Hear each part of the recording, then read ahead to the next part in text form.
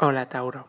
En la salud, mejoras mucho en tus condiciones actuales de salud si has estado padeciendo de problemas asociados con los nervios o trastornos del sueño.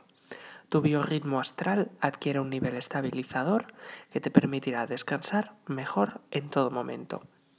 En el aspecto económico laboral, una idea feliz podrá ser llevada a cabo y al realizarse te pondrá en control en una posición laboral muy ventajosa no te desalientes ni intimides si escuchas rumores de cesantías, despidos o cierres de empresas. Sigue haciendo las cosas tal y como siempre las has hecho.